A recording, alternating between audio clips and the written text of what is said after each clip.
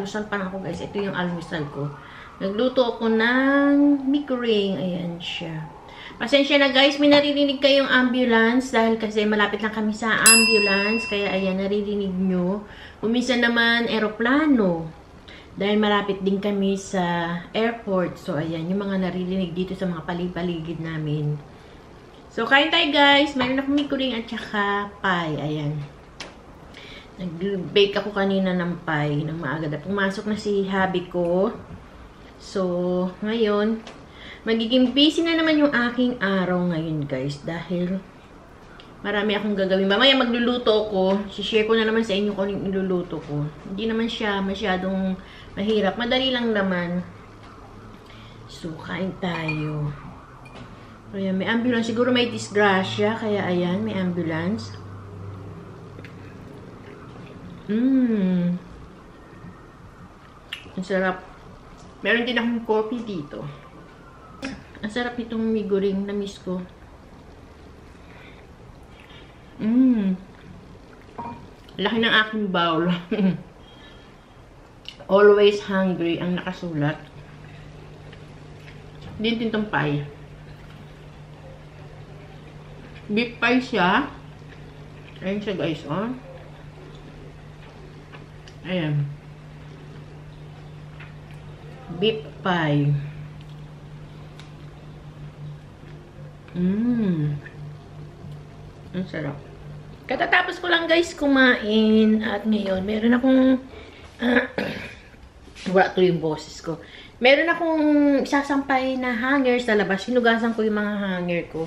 At gagamitin ko mamaya. Ilalagay ko sa taas. So ngayon, ilalagay ko siya sa labas. Ito guys, yung aking mga hanger. Ayan, hinugasan ko kasi siya. Dahil kasi, hindi ko to ginagamit dati. Nilagay ko lang siya sa labas. Eh, madumi na. So ngayon, hinugasan ko siya. Binabad ko siya magdamag. So ngayon, ilalagay ko siya sa labas para matuyo. So ayan guys, diyan ko na siya inagay. Hinang ko siya dyan dahil may araw. Para madali siyang matuyo. Ganda ng araw ngayon, oh. Masikat ang araw. Yung aming puno ng saging, guys. Ayan, oh. Ang ganda nito, oh. Ay, ayan, nilhangin pa. Hindi ko naabot. Ayan, ang ganda nito. Kabubuka lang niya. Tapos doon, oh, di ba? Sayang, walang maganda ito yung pang magmumukbang ka, di ba? Ayan ang ilalagay mo. So, ayan siya. So, yan guys. Sinampay ko na yung aking mga hanger dahil gagamitin ko siya mamaya. Dahil yung mga ibang pang winter namin, hindi pa naka-hanger. So, ihahang ko lahat pag mag-aayos ako ng closet namin dahil napakarami ng mga pang winter clothes. Tapos na rin yung nilalaban ko. Konti lang naman yung nilaban ko. Ah, uh, ito. Hindi naman siya masyadong marami. Ayan lang siya, oh. Yan, ilan lang yan. Kasi nga, ginagamit siya ng mister ko pagka uh, naka-uniform sila. Ito kasi yung uniform nila nandito. Yan, dyan nakasabit yung kanyang uniform, yung kulay orange. Yung kulay orange.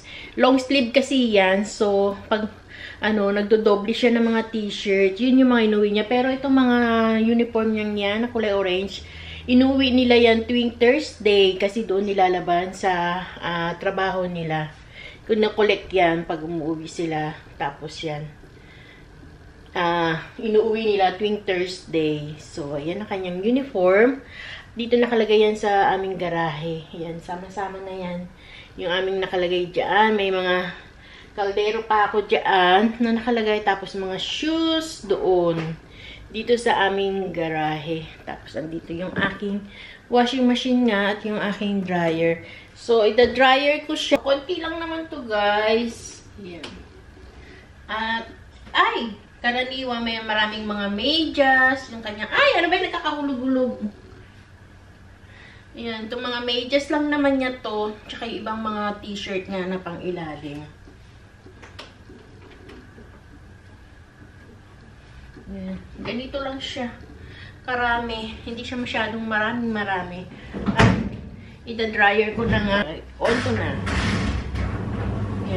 Maririnig nyo na naman guys itong aking dryer na maingay. Dahil, ayan, inaano niya yung mga damit. So, tapos na akong maglaba. Yan lang naman yung nalaban ko ngayon. Ngayon, maglalaga ako ng chicken breast at magluluto ko mamaya ng pansit para baon ni Labski ko bukas sa kanyang work. Kaya ngayon, sasalang ko na tong aking chicken breast. Ayan siya isalang ko na siya para mapalambot ko. Dahil yan ang isasahog ko sa pansit. Dahil gusto niya yung chicken breast na sahog sa pansit kaysa sa baboy. So yan. Hintayin ko yan kumulo at mamaya magumpisa na ako magluto ng pansit. Ito lang naman yung lulutuin ko para sa kanya pambaon. Marami na to pag nalagyan ng sahog. So yan lang naman yung Chinese noodles ko para sa kanya. Mag-umpisa na ako magluto ng aking pansit dahil tapos ko nang nilagay yung aking manok. So, ayan, umpisahan ko na siyang lutuin. Madali lang to guys lutuin kasi meron ako naka-ready mix na uh, veggies. So, hindi ito matagal lutuin. Kasi ganito yung ginagawa ko pagka magbabaon si love ko ng kanyang pansit. Madali lang yung ginagawa ko. Ito yung aking ginagamit na ready mix na. Ayan. Ito. Stir fry na veggies. Chinese veggies. So, madaling-madali lang ito uh, lutuin. So, kaya yun ang kanyang baon for tomorrow.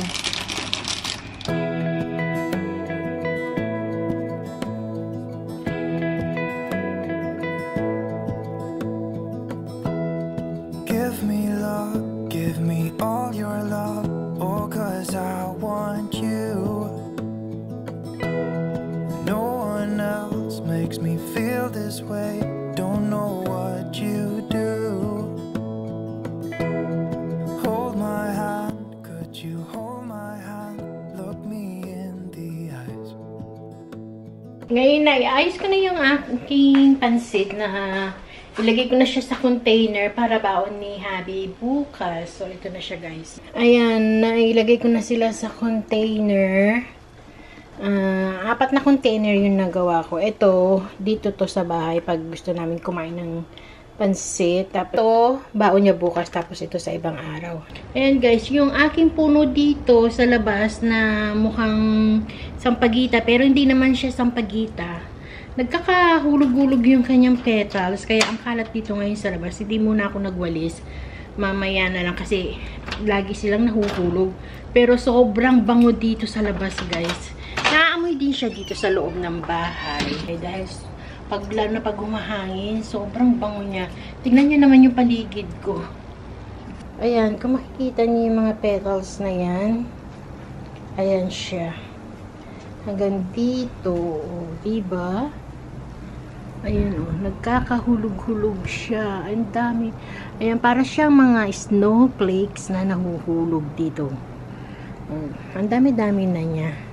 Kaya hindi pa ako nakakapagwalis eh. Tingnan niyo, napakita ko na to sa inyo. Ayan. Oh.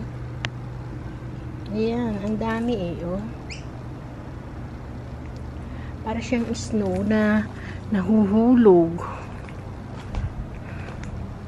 Oh, ayan o. Ang ganda. Puro puti. Ito mga to, hindi ko na siya winawalis. Hinahayaan ko lang muna siya ng ganyan.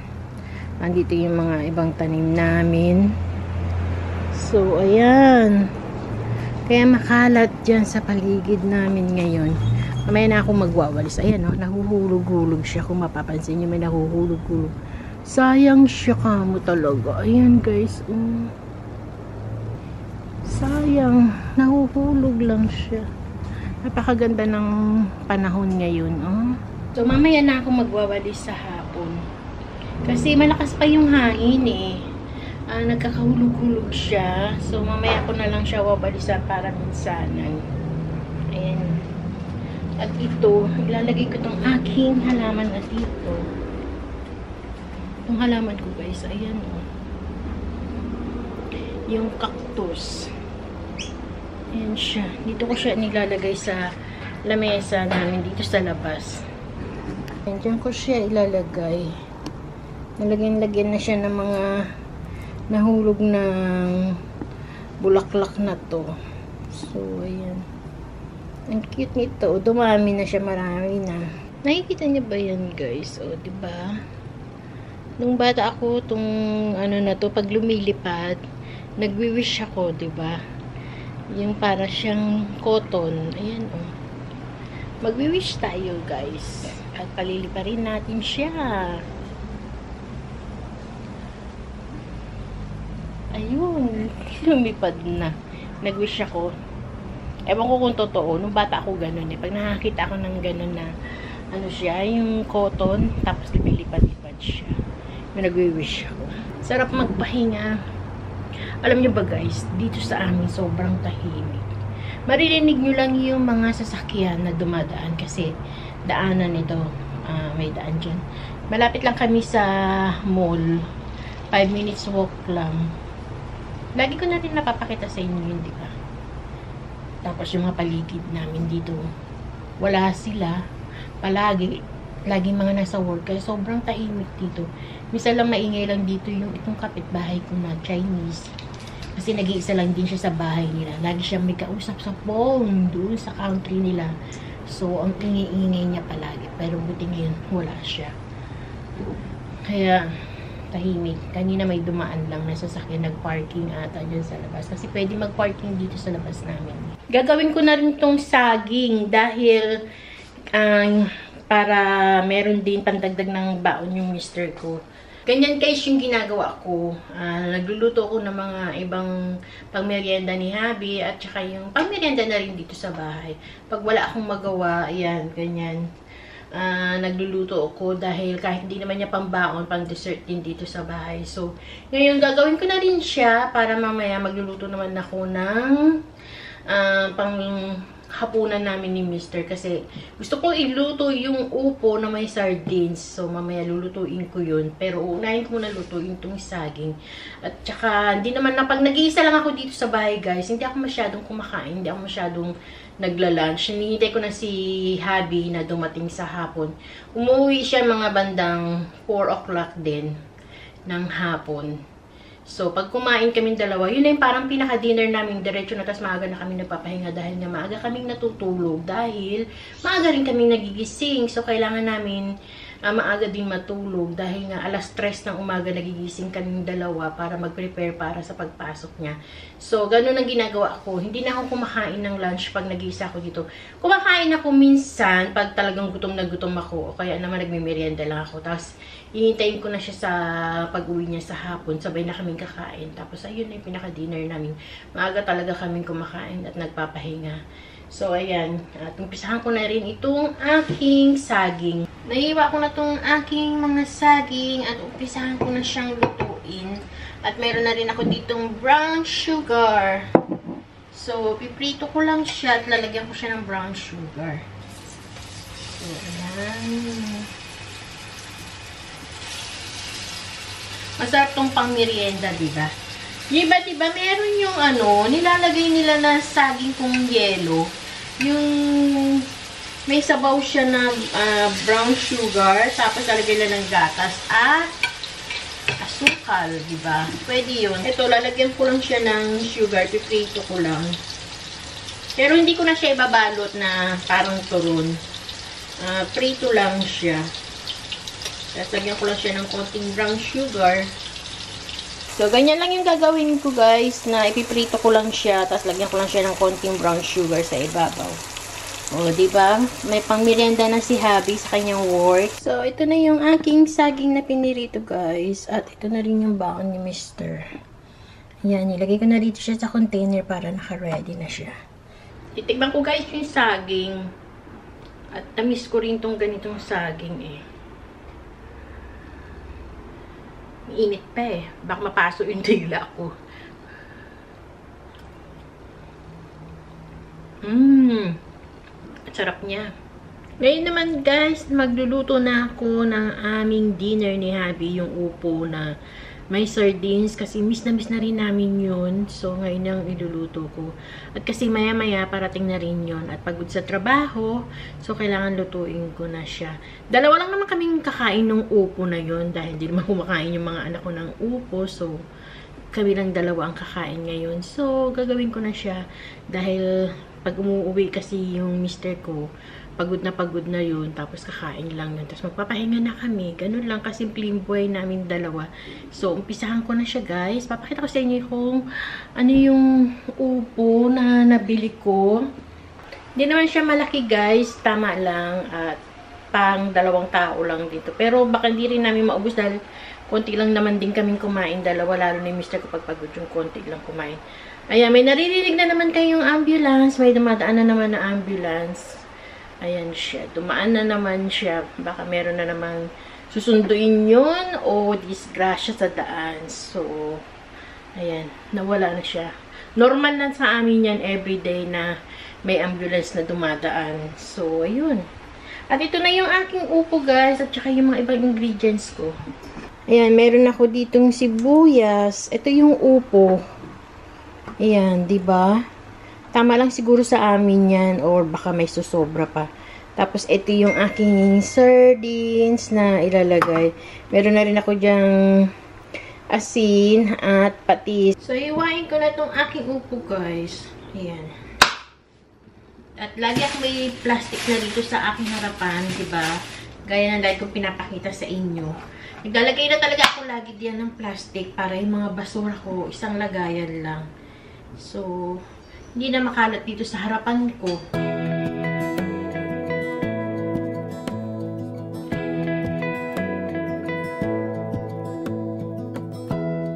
Give me love, give me all your love. Oh, cause I want you. No one else makes me feel this way. Don't know what you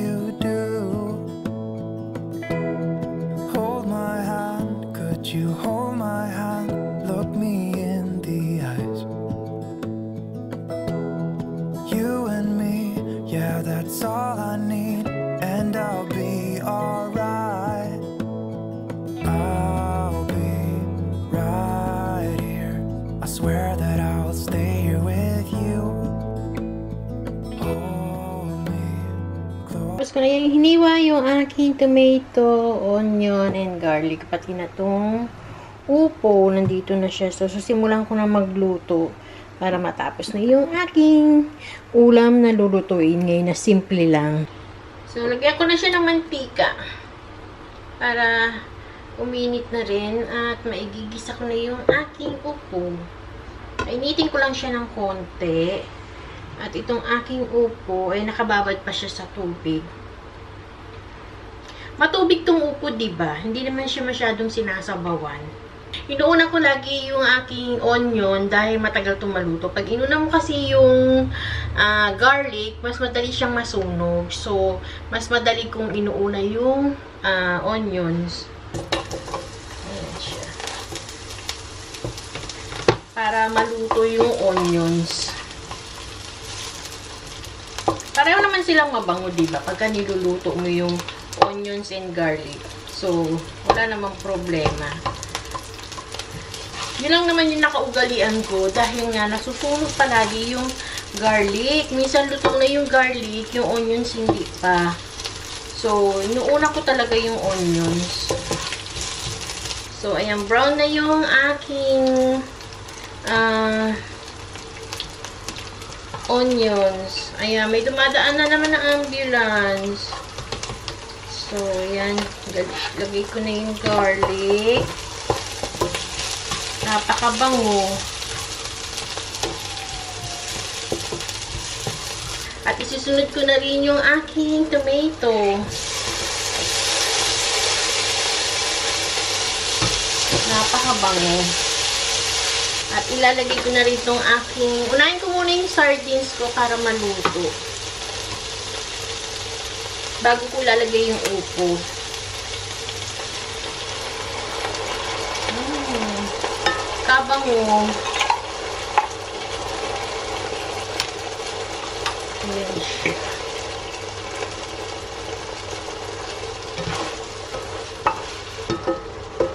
Bago ko ihuhulog itong upo.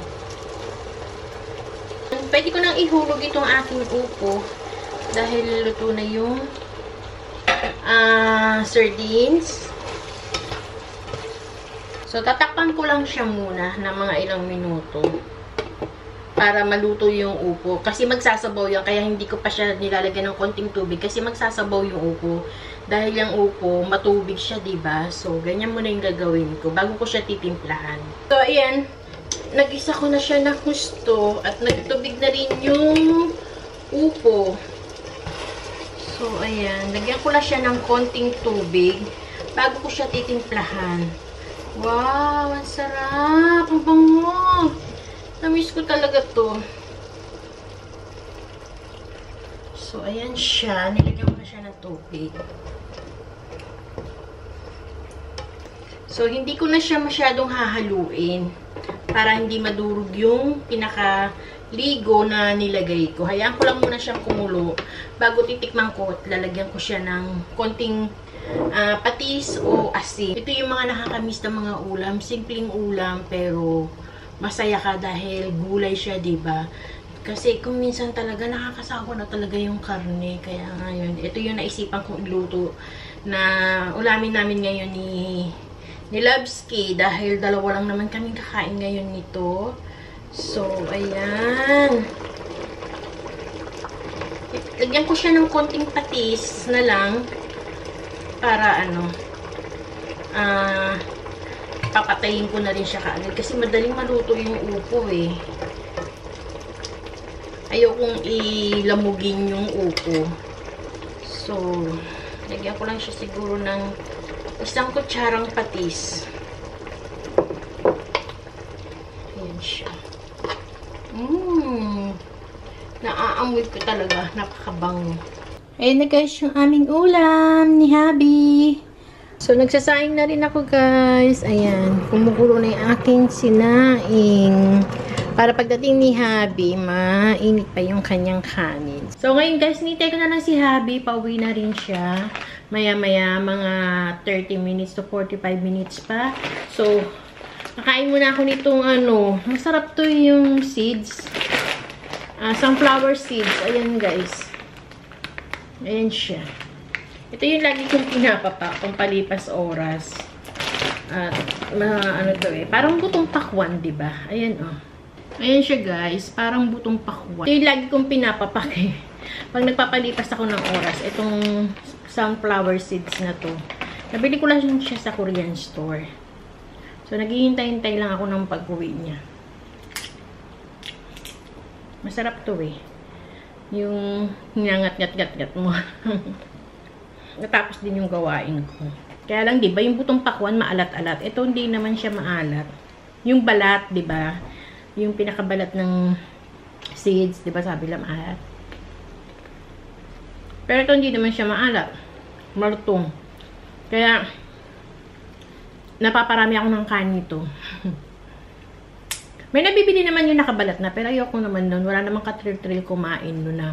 Ganon ka na lang ng ganon, hindi ka na magbabalat. Mas gusto ko yung ganito nagbabalat. Masarap siya. Guys, end ko na rin dito yung aking vlog dahil kasi parating na si Mr. at mag-aasikaso na ako dito sa kusina. At maraming salamat guys sa panonood. Kung ikaw ay bago lang dito sa akin channel, huwag mo kalimutan mag-subscribe. Pindutin mo lang yung red button para lagi ka na-notify sa aking mga bagong videos. Maraming salamat. See you next time. Bye-bye! I did a lot of